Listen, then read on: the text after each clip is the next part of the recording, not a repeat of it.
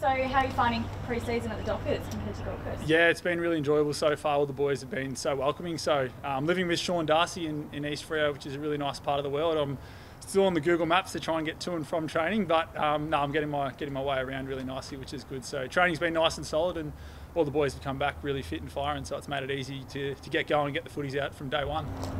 When you look at training standards and expectations and things like that, how, how is it different from here compared to Gold Coast? Yeah, it's been outstanding. I think um, a lot of the, the younger group, um, particularly um, Caleb and Andy, and that are driving the standards here. Um, I think both lists, the Suns and and, and um, Fremantle, are quite young, but um, they've both got those young leaders, as I mentioned, um, particularly here. So the standards have been absolutely amazing from the start. And um, I think I went through the list the other day. I'm 26, and I think I'm one of the older people at the group, and I still feel like I'm 18 sometimes. So um, yeah, it's really impressed with the way they drive their standards and, and, set the tone from the start. So yeah, it's great. Does it feel unusual to have someone like Caleb 21, 22 or something like that, being the one who's saying, well, this is how we play, this is how we train. Yeah, and I think that's a really important thing, um, particularly at a club like Fremantle, that it doesn't matter about age group, it's, it's about um, who knows their role and, and, being able to play their role, and um, there's no egos. Everyone's able to speak up in a comfortable environment, um, and everyone's really well respected. So um, whether it's um, Caleb or Nat or whoever it is who's speaking up and giving feedback, everyone's more than welcome to, to listen and take it all on board, that's for sure.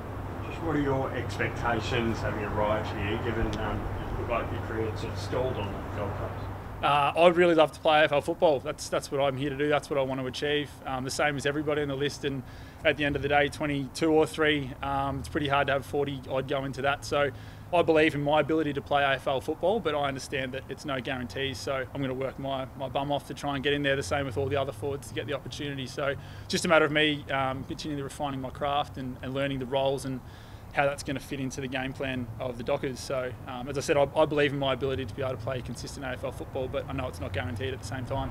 Yeah. Sorry. Do you look at someone like Will Brodie and see how his career has transformed at the Dockers and now you know, he's one of their best years? Yeah, well, I think I've said this a few times. Wiz has probably raised the bar pretty highly as far as the way that trades go. As you mentioned, he was playing some really good um, VFL football at the time at, at, the Suns and couldn't get a look in at, at the highest level, but comes here and, and really fits into that role. Um, and he's bought in, and he was um, really helpful in, in, making the decision um, for me to come over here and, and fit in really well. So um, he's done an absolute credit to himself to, to get in here and, and fit in with it all. But um, those people that know Wiz, it's no surprise because he's been a really good player for a long time. So I'm pleased that he got the opportunity, and um, yeah, fingers crossed I can follow in his steps. That's for sure. You're obviously optimistic about uh, finding your way into this team. What is it you think maybe Gold Coast had lost sight of?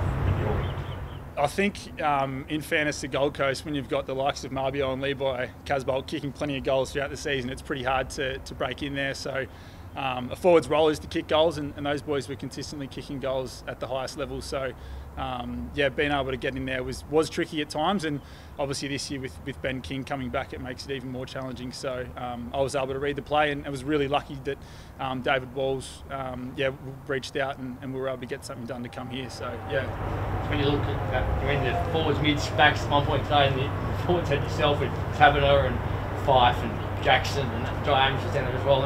It's, it's, a tough group to break into here as well, isn't it? Yeah, 100%. That's what I mean when I'm saying there's no guarantees at all. Um, all the boys have been amazing, and um, I always find it funny at football clubs. The people that you're closest with tend to be the ones that you're fighting for spots at the same time. So, um, as I mentioned, that's the good thing with no egos here. Everyone's really happy to be able to help and, and educate people at the same time. So, um, if, as you mentioned, if you look at the different age groups, the likes of Jye Amiss and Joshy is quite young compared to um, Natty Taberner. So it's good that everyone can learn off each other at, at, those things and everyone's got different tricks. So I'm just looking forward to being a sponge to learn off all of them and um, yeah, hopefully get to work at the highest level with them as well. What have you noticed about Jackson's forward craft and Fyfe's forward craft? It's two very different forwards to what you would normally see, I. Yeah, um, well, as you would have seen at training today, some of the stuff that Jackson can do is pretty crazy for a man of his height. Um, sometimes he can play that really sort of small crumbing role, but when he needs to stand tall, he's definitely really impressive at doing that as well. Um, and then, yeah, seeing Fyfe in the flesh is really impressive. His work rate um, and his ability to attack the contest is, is really impressive. So, um, yeah, again, really looking forward to learning off those boys.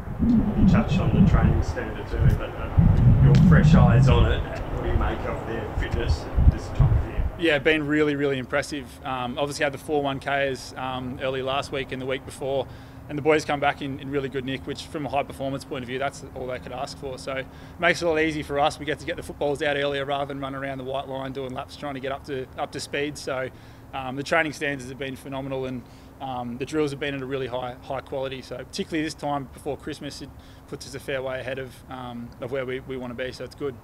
An opportunity standpoint for you, if you get into the team, you're in a team that's in the window at the moment, as opposed to one that was trying to break into finals for the first time. Does that excite you that, that the carrot is massive? Yeah, 100%. Well, at the end of the day, that's what you play for. You want to be able to play in that, that last Saturday in September. So um, I think that's what every team's team's aiming for. Um, and obviously last year, the Dockers went they went pretty close to it all. And um, the game against Collingwood would take a lot of the boys a long way, playing in such a big crowd and, as I said, such a long group, uh, such a young group. Um, it'll take them a long way, and, and, that's probably added another five or ten finals games experience onto each player that was lucky enough to play in that side. So definitely the carrot, and that's what we're here to do. We want to try and to win a win a premiership at the end of the day.